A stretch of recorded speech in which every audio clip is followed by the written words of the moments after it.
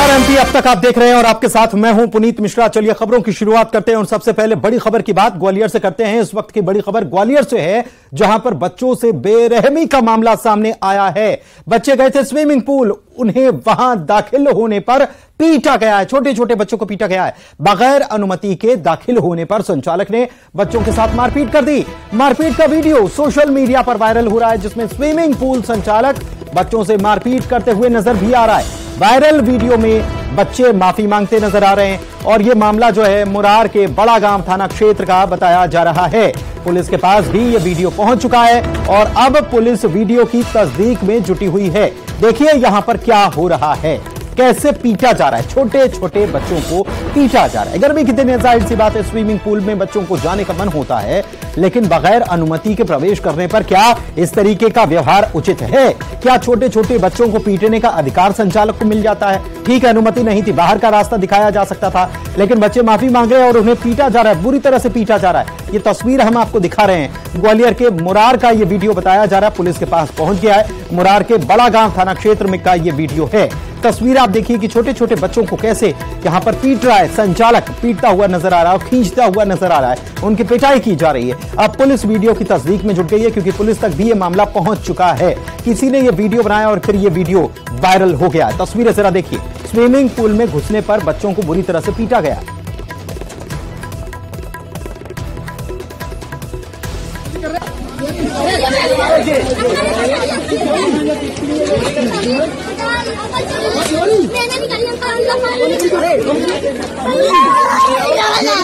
देखिए बच्चे, रो रहे हैं, बुरी तरह से रो रहे हैं और हाथ में रस्सी लेकर जैसे कोड़े मारे जाते हैं, वैसे रस्सी से छोटे छोटे बच्चों को पीटा जा रहा है। ये किस प्रकार की हरकत है? और ये संचालक कौन है? सवाल कई सारे खड़े हो रहे हैं इस पूरी घटना के सामने आने के बाद।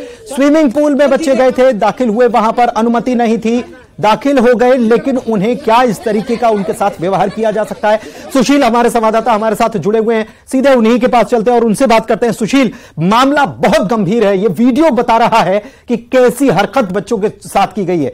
ठीक है, अनुमति नहीं थी, दाखिल नहीं होने देना था, बाहर भगाया जा सकता था कि नहीं, आपके पास परमिशन नहीं है, लेकिन उनके साथ बुरी तरह से मारपीट करना, रस्सी से पीटता हुआ यह शख्स नज़र आ रहा है। सीधे सीधे ये क्राइम है। बिल्कुल बिल्कुल। देखिए, वीडियो में जिस तरह से इन बच्चों की पिटाई हो रही है और ये बच्चे जिस तरह से चीख पुकार मचा रहे हैं, निश्चित तौर पर दिल को दहला देने वाला, मन को कपा देने वाला ये वीडियो सामने आया है और ये वीडियो ग्वालियर के बड़ा गाँव इलाके के एक स्विमिंग पूल का है, बताया जा रहा है, रिसोर्ट वगैरह भी है। उसी का है जिसमें ये बच्चे कहा जाता है कि बिना अनुमति के अंदर घुस गए थे और उसके बाद ये वहाँ स्विमिंग पूल में नहाने लगे थे। इसी बात को लेकर वहाँ जो संचालक और जो कर्मचारी थे इन्होंने जाकर इन बच्चों को पकड़ लिया और पकड़ने के बाद रस्सी से इन बच्चों की बेरहमी से पिटाई हो रही। करीब छः सात बच्चे नज़र आ रहे हैं वीडियो में और कुछ इस तरह की भी बातें इसमें सामने आई कि बच्चों पर कुछ यहाँ से सामान उठाने का भी आरोप इस वीडियो में लग रहा है। इस तरह की इस वीडियो की बातचीत के दौरान सुनाई दे रहा है। तो निश्चित तौर पर जिस तरह से बच्चों की ये पिटाई हो रही है कहीं ना कहीं ये बेहद ही बेरहमी वाला काम है।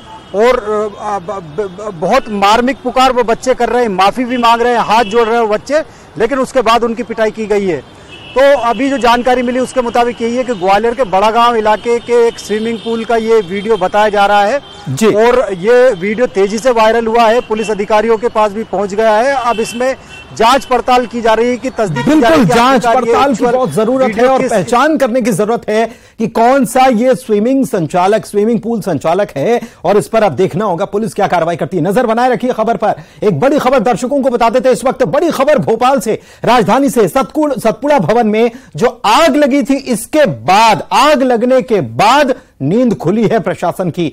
जागा है। कलेक्टर ने फायर ऑडिट को लेकर अब जाकर बैठक बुलाई है। न्यूज़ एटीन इस मामले को पहले भी लगातार उठाता रहा है कि आपके पास फायर, अगर फायर सेफ्टी को लेकर संसाधन क्या है, आग लगती है तो उसे बुझाने की क्या व्यवस्थाएँ हैं, इसको लेकर न्यूज़ एटीन पहले भी सवाल करता रहा है। अब जाकर जागे हैं साहेबान।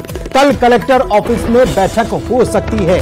सरकारी और निजी इमारतों में फायर ऑडिट को लेकर टीम बनेगी। आप याद कर लीजिए, जबलपुर का वो अस्पताल, न्यू लाइफ अस्पताल, जहाँ पर आग लगी थी और उसके बाद मुख्यमंत्री ने तमाम निर्देश दिए थे। लेकिन उसके बावजूद सरकारी इमारतों में क्या निर्देशों का पालन हुआ था? नहीं हुआ था तो क्यों नहीं हुआ था? आग लगी है, फिर से बैठक बुलाई गई है। कल फायर ऑडिट को लेकर कलेक्टर ने बैठक बुलाई।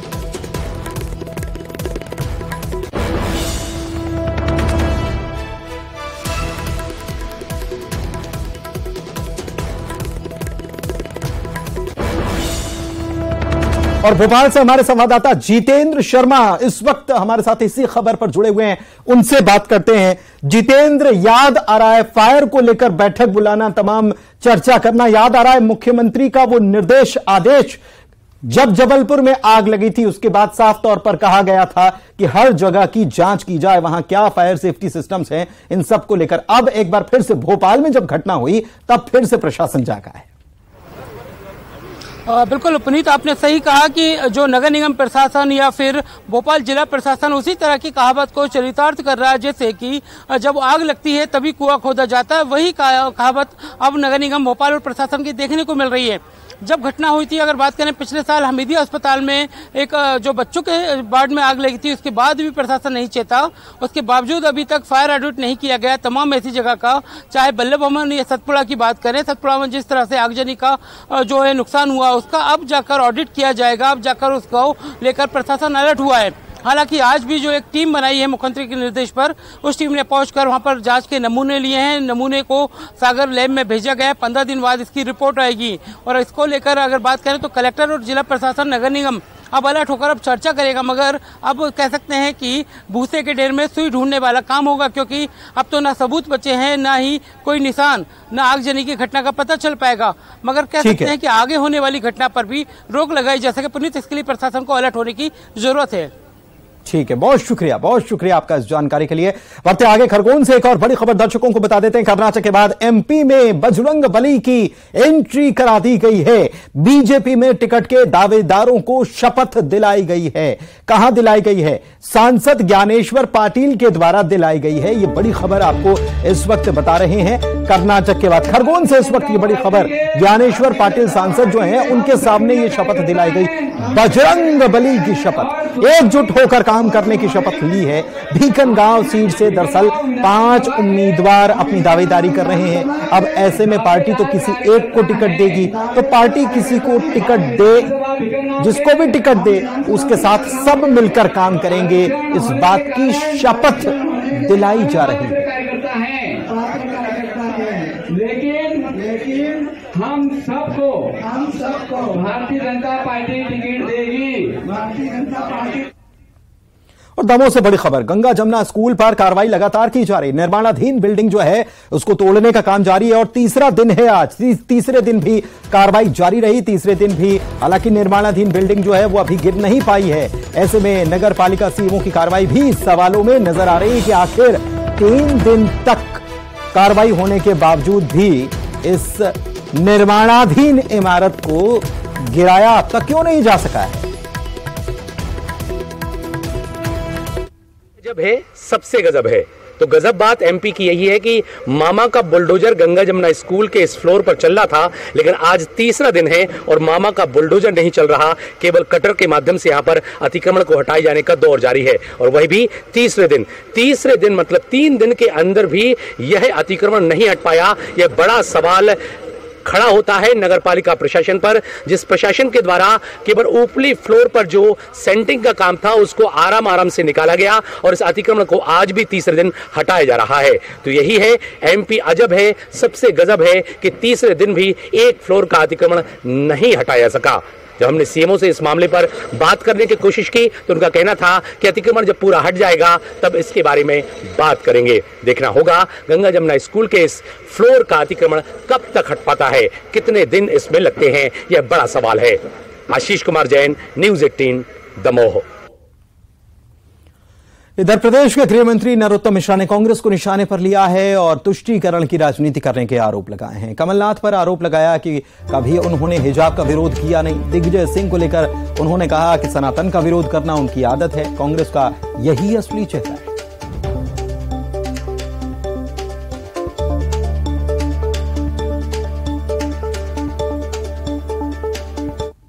कभी हिजाब पे तो आपत्ति नहीं की थी? उस पर करते, फिर इस पर करते तो समझ में आता। ये तुष्टीकरण है वास्तव में। ये कांग्रेस का असली चेहरा है। बाकी गदा और आरती, वो ढोंग है। इससे आप समझ जाइए दोनों छोटे भाई, बड़े भाई। मैं सवाल पूछना चाहता हूँ कमलनाथ जी से, आदरणीय प्रियंका जी से, जो धर्म का चोला ओढ़ के आते हैं, कि दिग्विजय सिंह जी ने जो सनातनी संतों के बारे में बोला है इससे आपत्तिजनक बयान को क्या आप सही मानते? तो हाँ करो। और ना करते हो तो कार्रवाई करो। पर ये करेंगे नहीं, क्योंकि ये तुष्टीकरण की राजनीति करते हैं। कमलनाथ जी मौन ही रहेंगे। कॉमन सिविल कोड को लेकर केंद्र सरकार ने अपनी तैयारी शुरू कर दी है। लॉ कमीशन ने लोगों से सुझाव मांगे हैं। एक महीने का वक्त भी इसके लिए तय हो चुका है। बीजेपी ने लॉ कमीशन की पहल का स्वागत किया, जबकि कांग्रेस विधायक आरिफ मसूद ने विरोध की बात कही है। एमपी उल्लेमा बोर्ड के प्रेसिडेंट ने कॉमन सिविल कोड को भारत की एकता के खिलाफ बताया है।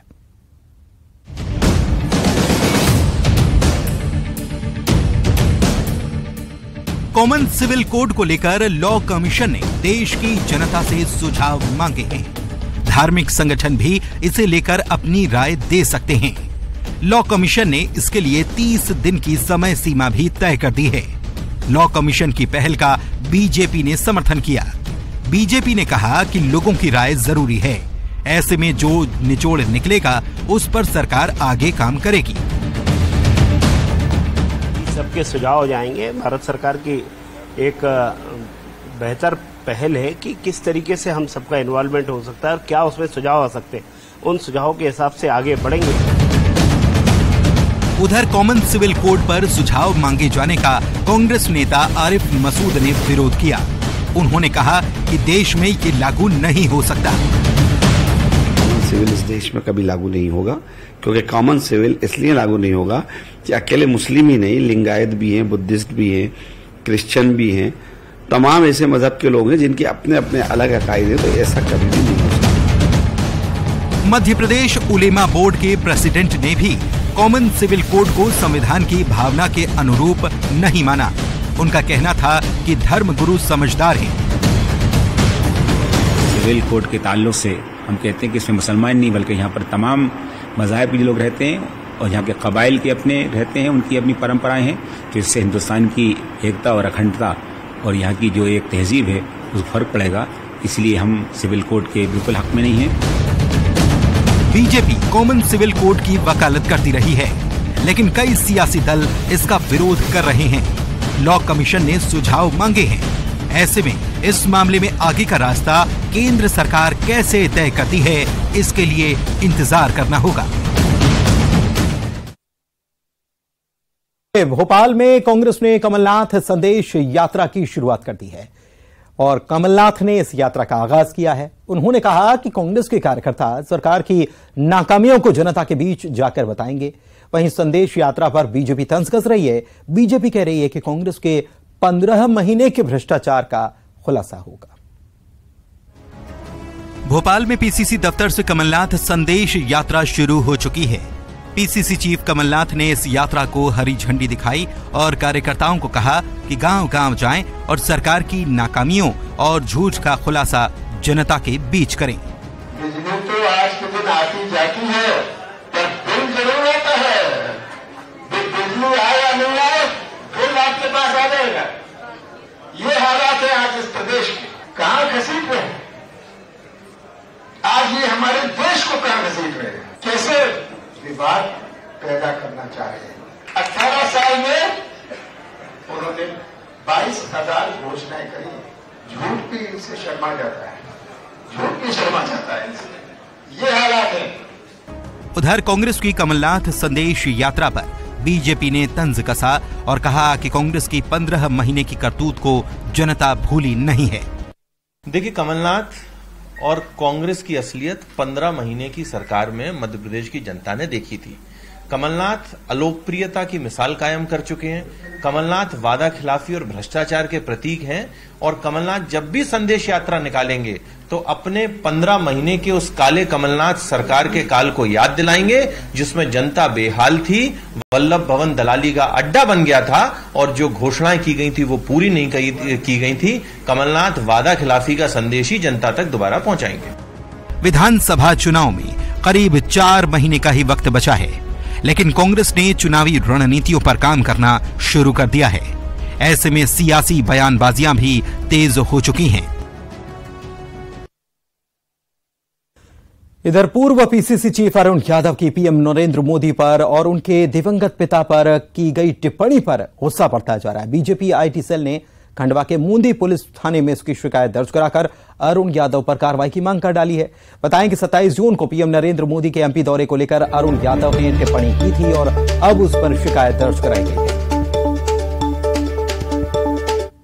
के माध्यम से एक भोपाल में कांग्रेस की प्रेस कॉन्फ्रेंस हुई थी, जिसमें हमारे कांग्रेस के पूर्व खंडवा लोकसभा क्षेत्र के पूर्व सांसद और पूर्व केंद्रीय मंत्री श्री अरुण यादव जी ने हमारे देश के प्रधानमंत्री श्री नरेंद्र मोदी जी के पिताजी के बारे में अभद्र टिप्पणी करी है। उसको लेकर आज मैंने मोदी थाने में शिकायत करी है कि उनपे उचित दंडात्मक कार्रवाई उनपे होना इधर ग्वालियर में दो सफ़ाई कर्मियों की मौत हो गई। चैम्बर की सफ़ाई ये दो सफ़ाई कर्मी कर, कर रहे थे और इसी दौरान चैम्बर से गैस निकलने के दौरान इनका दम घुटने से मौत हो गई। नगर निगम के ठेकेदार के ये दोनों सफ़ाई कर्मी बताए जाते हैं ग्वालियर के रेशम मिल इलाके की ये घटना है। दोनों के शवों को पोस्टमार्टम के लिए रवाना किया। ऊर्जा मंत्री प्रद्युम्न सिंह तोमर अस्पताल पहुँचे। ठेकेदार ने बिना सुरक्षा उपकरणों के सफ़ाई कर्मियों को चैंबर में उतार दिया था। नगर निगम कमिश्नर ने ठेकेदार के खिलाफ कार्रवाई करने के आदेश दिए हैं। इधर, ऊर्जा मंत्री ने मृतकों के परिजनों को दस दस लाख रुपए की सहायता दिलाने का भरोसा दिया है।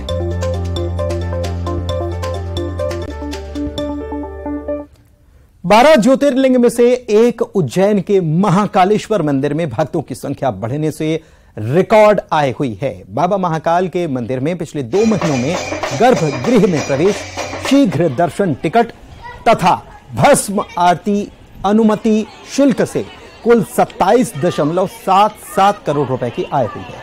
आय दोगुनी होने के साथ ही मंदिर की देखरेख को लेकर, श्रद्धालुओं की सुरक्षा और व्यवस्थाओं को लेकर खर्च भी दोगुना हो गया है। महाकाल मंदिर और महाकाल लोक का खर्च हर महीने करीब ढाई करोड़ पहले आता था, अब ये पाँच करोड़ से ऊपर चला गया। इसके साथ ही मंदिर प्रशासन भक्तों के लिए कई अन्य सुविधाएँ ऑनलाइन करने का मन बना रहा है।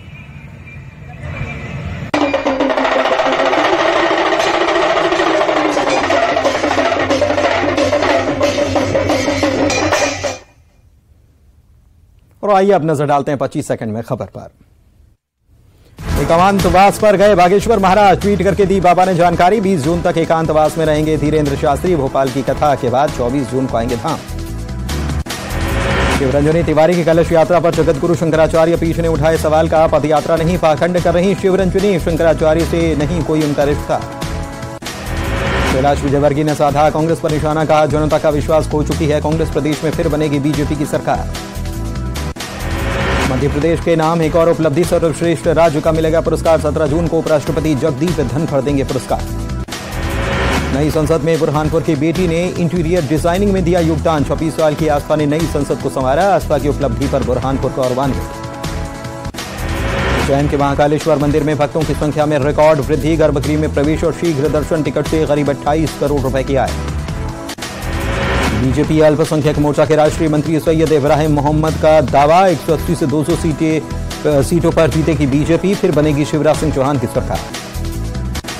जबलपुर में हिंदू धर्म सेना का ऐलान, लव जिहाद के विरोध में किया ऐलान, मुस्लिम लड़की से शादी करने पर ग्यारह हज़ार रुपए का दिया जाएगा इनाम।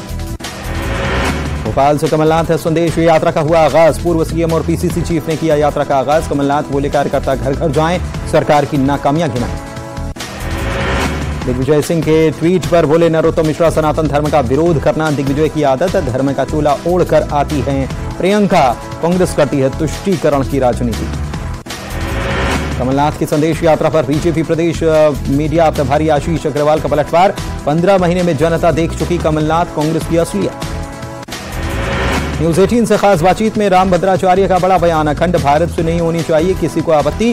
चीन के कब्जे वाली ज़मीन भी ली जाए वापस।